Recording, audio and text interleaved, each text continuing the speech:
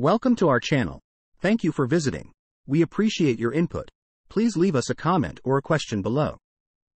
Today we answer the question, what is apple cider vinegar, and the surprising benefits? Vinegar comes from the French phrase vinaigre, meaning sour wine. The sourness comes from the acetic acid. Making apple cider vinegar entails taking advantage of controlled spoilage. Yeast digests the sugars in apples and converts them into alcohol. A bacteria, Acetobacter, then turns the alcohol into acetic acid.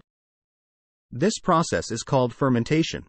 The mother refers to the combination of yeast and bacteria formed during fermentation. If you look at an apple cider vinegar bottle, you can see strands of the mother floating around. Many people attribute apple cider vinegar's effects to the mother. There's some truth to this since the mother counts as a probiotic. Aside from probiotics, ACV has a vitamin profile similar to apple juice. Hence, the sour drink is ripe with B vitamins and polyphenols, plant based antioxidants.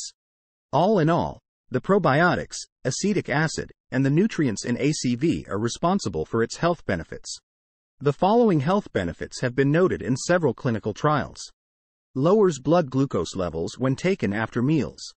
A food preservative. Studies show that it inhibits bacteria like E. coli from growing in and spoiling food. Several animal studies have shown that it can reduce blood triglycerides and cholesterol. Makes you feel full, which helps in weight loss.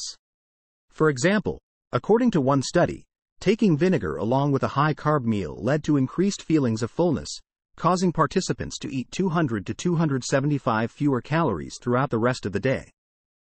Some studies have shown that it suppresses fat accumulation, improves lipid profiles, reduces hyperglycemia and improves insulin secretion.